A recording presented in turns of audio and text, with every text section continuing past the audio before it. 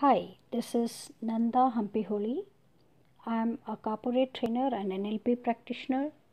In this audio, I am giving you some details with regard to NLP. NLP is a unique model of how people learn, motivate themselves, and change their behavior to achieve excellence in any endeavor. The term neurolinguistic programming was introduced by Alfred. This is also the same person who quoted, God may forgive you for your sins, but your nervous system won't. NLP is an integration of several disciplines, including neurology, psychology, linguistic, cybernetics, and systems theory. The components of the term neurolinguistic programming describe best what is this little known science encompasses. Neuro, because all of our experiences, both conscious and subconscious, are derived through and from our experiences. Both conscious and subconscious are part of our central nervous system. Linguistic, because our mental processes are also coded, organized, given meaning, and transformed through language. Programming because people interact as a system in which experience and communication are composed of sequences of patterns or programs.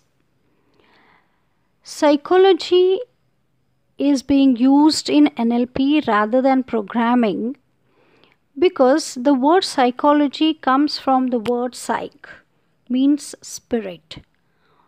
And logy is the study of systems. What can nlp do for us? Nlp lets you model or copy human excellence in any form with NLP, you can identify what makes someone exceptionally skilled and get that skill for yourself and teach it to others. NLP can help you become adept in whatever is important for you, whether that means getting along with your family or co workers or being more effective on the job, or it may be anything. And why do you think NLP is useful? NLP is valuable wherever human communication skills can enhance results.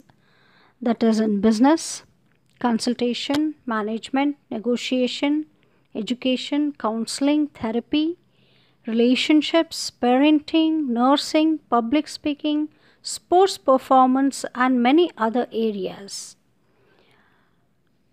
And what kind of results can you get with NLP? NLP can allow a therapist to change the impact of the past on a client, a teacher to change a poor speller into a good speller, a business person to gain rapport non verbally, run meetings efficiently, an athlete to improve concentrations, and more. Now, the doubt is is NLP a therapy? Friends, although NLP can be used as a method of therapy, the applications are much broader.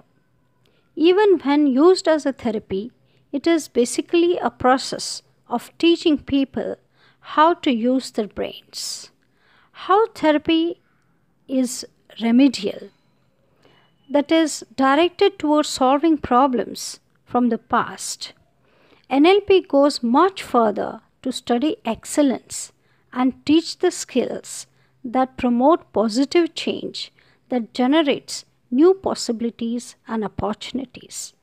In total, NLP can be learned and should be learned by everybody to bring an excellence in their life. It's just not the person who needs therapy needs NLP. NLP is for excellence in whatever